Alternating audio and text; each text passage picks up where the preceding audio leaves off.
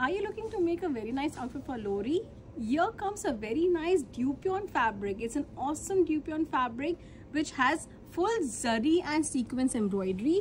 You can make a nice sharara as well as a kurta of this fabric and we show you a lovely tissue organza dupatta along with this. Yeah. So it's a tissue organza dupatta again with a zari, full zari and sequence embroidery. So if you're making a Lohri look, this is to this is the look to go for.